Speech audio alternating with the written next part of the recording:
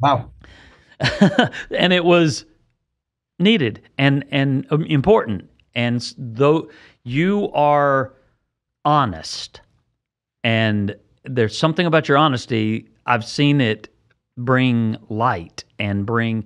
You know, I saw you say to Nick once, "This is really great." My son Nick, this is really great, but your drum tracks need to be beefed up. And you left. And he was like, ugh, he's right. And nobody wants to hear that. And the tendency is for most people in the world to go, I don't know if I should say this or not. One of the things I love most about you is you you say it. And but you're right. Your discernment is good. You're you're accurate. Well, you know, as behind the scenes players in in in what we do, number one, you you, you want to you want to keep the job. You want to keep working with the artists. You want to keep working with the record company. So you know, oftentimes you might be intimidated to say, when asked, you know, what do you think? And and you might not want to say it because of things like tactfulness or timing or whatever. Um, and it's you know it's gotten me in trouble quite a lot throughout my life. I've, I'm probably as many great positions as I've held and success that I've been lucky enough to have, I've been fired. And um, sometimes people don't want to hear it, uh, and Yeah. the and, and the result is adios. So uh, maybe I'm the most fired uh, person in the history of the music business. I might be, um, but But that did that sometimes it that leads to a hit. affect anything. You know what? I'll tell you a story. It's very timely right now. We're just doing the t- uh, experiencing the 20th anniversary of Christina Aguilera's what was her fourth album, but considered her second album, Stripped.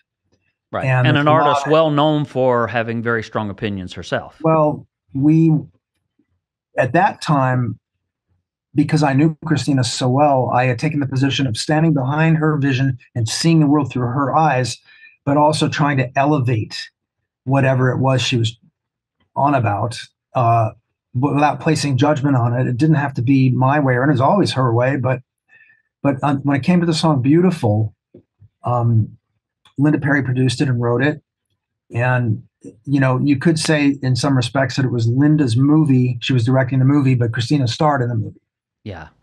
And there was a, we got into a little bit of an argument about the piano part on on Beautiful, and uh, Linda was very upset with me, and I said I said something like, you know, I think you could do it better, and um, she got upset with me, and and then I suggested, still thinking of a way to get that piano part better. hmm I suggested that uh, we get Elton to play the piano on Beautiful. Thinking Wow. like, you know, as a guy playing cards, like, okay, Queen, King, Ace. Yeah. Exactly. And where, uh, so that made Linda even angrier because I was trying to up the ante. And um, of course, Elton and Christina on that song, they might have even done it somewhere on one of the TV shows, but it would have been would have been great. But um, I, I left. I, I may have been asked to leave. I don't really remember. It's 20 years ago. But the point is, Linda replayed the piano herself and really elevated it Wow. and and solve the problem uh, her way, which is how she should how problems in the studio should be solved by the artist and by the musicians, not by the overseer. At the same time, I make my own records, and sometimes people make suggestions to me that I don't like, but they they they uh, they spur on further thought about the assembly of the creative elements, of the musical elements, and you know it's like a prism. You look at it from every angle hmm and then make a decision. But in the case of Beautiful, uh, regardless of the genesis, she replayed the piano. It's a gorgeous record. It's a forever record. Um, it's an incredible piece of of all of our lives now. And as wonderful as that record is, it's better because you spoke your mind. He was great. So uh, that was a Baz Luhrmann saw me. Well, first of all, I was the link to Christina, and we borrowed her. I had just left RCA and became president of A&M under Jimmy Iovine. But he saw me as a kind of necessary glue because Missy Elliott was the overseer. It was he wanted Missy's flavor, Mm. and he and and Missy brought in Rockwilder to do the beat, and yet coordinating four different artists and different artist schedules and getting you know four very different artists between um, Christina, Pink, Mya, and Little Kim. Uh, that there was a lot of moving parts to that, and so I think Baz saw me as a guy who could come in the team and st- help stitch it together. And so I ended up recording the vocals, but they didn't record together.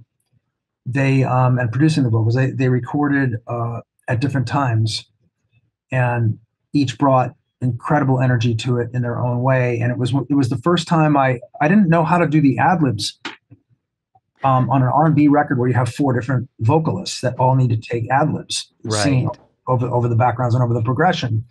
So I just because um, if you remember your uh, your music theory on uh, on Lady Marmalade, it's a mode da da da da da da da over and over again da da da da da da. da. Yeah. So an an R and B ad lib is is kind of in that tonality.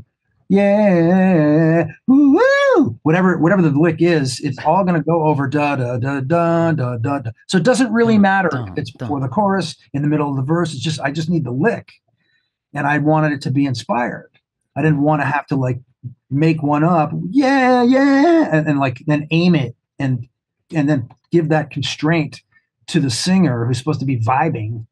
Like you have to do it this way in this spot. So it's like just sing ad libs all the way down the record from start to finish. Don't even worry about what's going on underneath. So it's a three and a half minute track going da da da da da da da. Perfect for R and B, right? Right. Except for, except for the bridge. So don't worry about the bridge. So each Christina Pink, Mya, little even little Kim, they all just gave off the top of their head ad libs. And if one of them was good, one of them happened to be good, I would say on talkback, do that one again, do that one again, listen to it real quick and do it again. So they were based on improvs. So it was all inspiration and very little perspiration.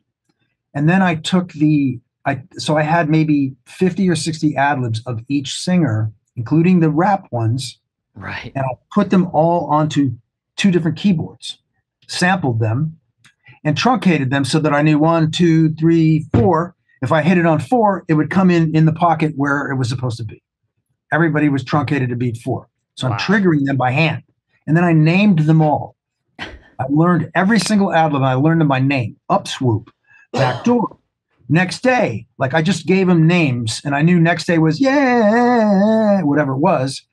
And I played all the ad libs in and created a counterpoint on the record, which then they learned and were able to do it live, and it all made perfect sense, as if they sung it that way naturally. But I got the best ad libs, most off, you know, most inspired, off the top of their head, and um, and so Lady Marmalade also has a. Everybody was a hero. Christina hit the gigantic high G and open chest voice. Pink came in with that salty tone. Yeah. She was like, like you know, like lower range Joplin. Uh, Little Kim had the flavor, the street thing, but Mhm. Mya, who was kind of the unsung hero, Mya had the pocket. Mm. So all of the all of the va- all of the backgrounds, hey sister souls, all the feel of it was all Mya to begin with, and everybody jumped on Mya's groove and, and listened to Mya while they sang. Wow. So what a combination. Yeah, and then they went on. The, the thing went to number one about about five weeks after we finished it. The album was a giant smash. They won the Grammy for vocal collaboration. They performed it on the Grammys. Patti LaBelle came out of the sta- out of the you know from out of from an elevator. Um. So yeah, like you say, uh, the name of the podcast is what? I lived it. Legendary. I lived so you know there there I was for um for that and on Grammy night of course th- this is really funny because you know while we're doing the deep dive as musos if you bought a brand new Korg Triton at the time of Lady Marmalade which was a, the dope keyboard of the day it. hmm if you happen to buy that um and you start and you press on the very first sound that comes on bank a sound 000 is called noisy stabber so you're going through the library of sounds so you get your brand new keyboard out of the box turn it on Noisy Stabber, and that is the exact patch that's going. It was like Rockwilder got his new keyboard. I don't know how to stop that beeping. Unfortunately, it's just part of it. I've, I've I don't know if you're getting it, but it's like Rockwilder uh, bought a new keyboard, turned it on, hit the first thing that was on, and there it was. and went, wow, this would be a great And it was a number- Wow, wow, That's the whole wow. track. That's the whole track. Is the noise? I've played that. Obviously, it's the first thing you see. Yeah. So when we did, when we played it on the Grammys, I took it upon myself to play that part live. We had a live Ah. horn section, and uh, the guy drumming that night was Abraham Laboriel, who's we all know as McCartney's drummer now. But, Absolute. What a great family. giant. But yeah, what a Yeah, great so- guy. and Alex Al, who was Michael Jackson's bass player. Yep. Hey, um, he was. I've been with him too. That's it's amazing. So uh, that was full circle. It came both of those records, wow. Be Without You, and well, all of them, Beautiful and Lady Marmalade. They they came full circle. Rarefied moments, you know, and and uh, have to be appreciated for what they are. Oh, absolutely. Well, you mentioned Jimmy Iovine, and Mhm. of course, I've had some encounters with him, but not like you. How did you end up working with Jimmy? Because a lot of people know him. Do you know the They think- story, or, they or think- are you just asking? I, I, well, I I know the story, Okay, because it's there's a good. there's a world of people that may not know the story, and it's one of my favorite stories of all time. But Well- a lot of people know him from American Idol now, Yeah, and don't really Or- or realize what a giant he is. yeah, and yeah, what a great guy he is. So I would love for the world to know how you teamed up with Jimmy Iovine. Okay, well, I'll tell you. So, so there's a few uh, permutations to it, and I'll so I'll say the somewhat more politically correct version of it. um, so, uh, basically, um, when Christina got Genie in a Bottle blew up, I signed Christina and oversaw her first five albums. Yeah. When she blew up, she got the cover of Rolling Stone, which is kind of the holy grail of stardom Yeah. on the cover. And in the interview, they ask her, you know, well, how did Genie in a Bottle come about? And she says something to the effect of, well, my perfectionistic, totalitarian, mean A&R guy, Ron Fair, forced me to sing Genie in a Bottle. That So, had to feel really had- good. But at that point in time, you know, Christina, it, it, for whatever reason, she said that. She may have felt that, or or she may have been transferring frustration onto me. I don't know. But I had always total amnesty and forgiveness for her. She was basically like 17 years old and hmm on the cover of Rolling Stone. So, so okay, if you want to say I forced you to sing Genie in a Bottle, okay, what am I going to do? I didn't take it personally. It didn't break my heart. Other things did, but not that.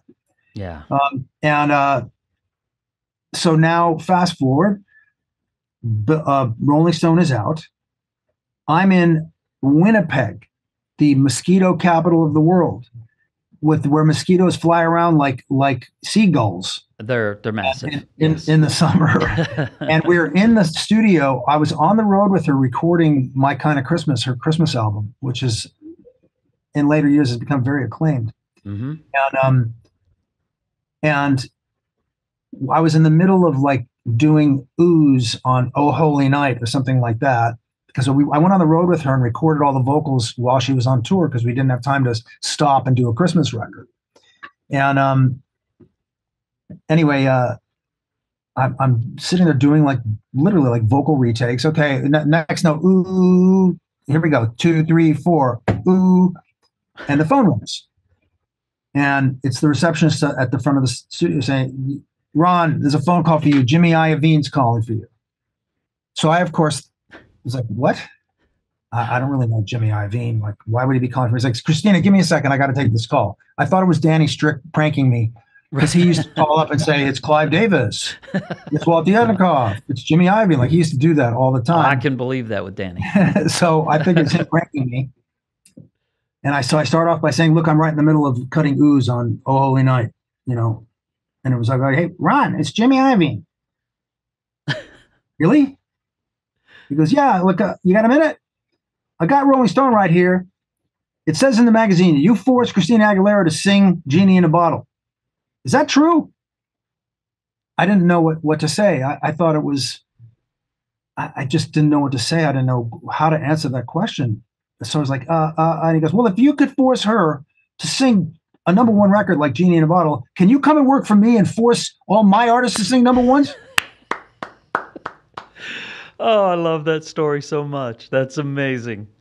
Unfair it is to be a female artist Mm. as opposed to a male and be judged by things like the clothes you wear, the lip liner, the eye makeup, the tightness of uh, of the fit. But in but with females in pop, all of those things do come into it. And I was a guy who was a music guy and following the music impulses and the other pieces of the puzzle that would have maybe helped us get through some of the some of the hurdles hmm weren't there. They weren't there on the label part and they weren't there on the management part. So ultimately, it did not work. But musically, it worked. Although we didn't have a hit, all the lessons were learned so that when I met the very young Christina Aguilera, everything that I had been trying, striving for with Wild Orchid was transferred to Christina and it worked as a solo singer with background parts. But it was R, it was, it was white chick R&B and it was very, very strong.